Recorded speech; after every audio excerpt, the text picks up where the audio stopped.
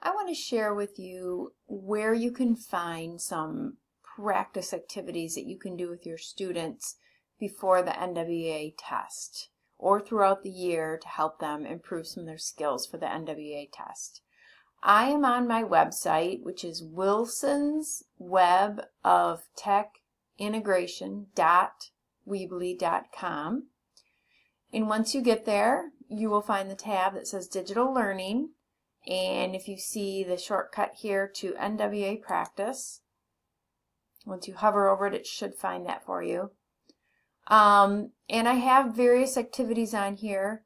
Um, there are some vocab terms that students uh, should be familiar with.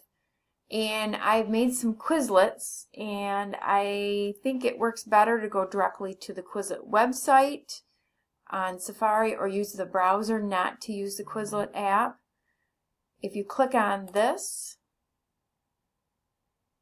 it'll bring you to those various Quizlets.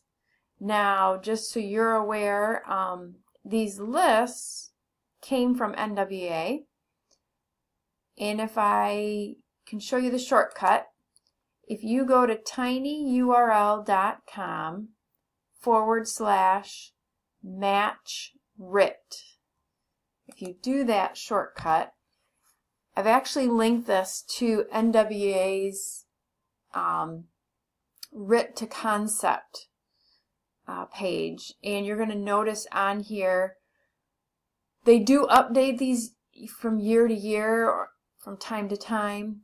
So if you scroll on here you will see the various words and the RIT band. These are terms that are generally used on the test so you may want to make sure your students are aware of those and that is where the Quizlets come in um, some of them I've been able to update real recently and others eh, they may be somewhat up to date but you may want to consider making your own Quizlets if you don't feel that they're up to date.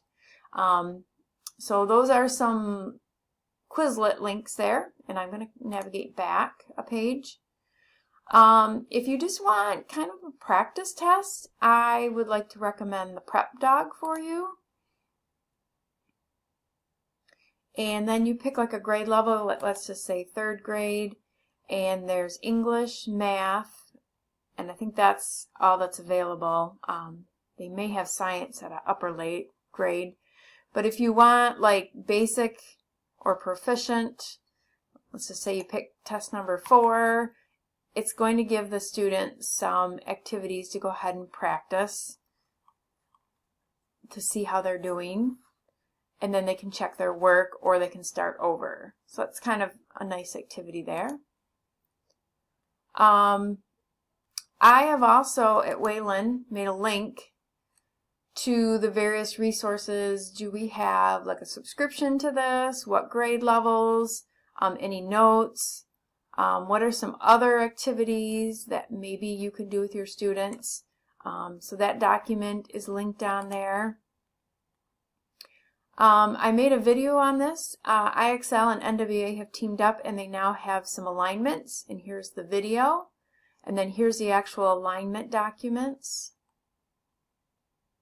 Um, Khan Academy has something very similar that there's some um, documents that show the skills and it links you into Khan Academy's activities. And then there are a couple old resource lists. Um, these are very difficult to find. There are a lot of links that are broken on these here, but feel free to use. Um, and hopefully you found some activities that you can use with your students to help get them ready for the upcoming NWEA tests.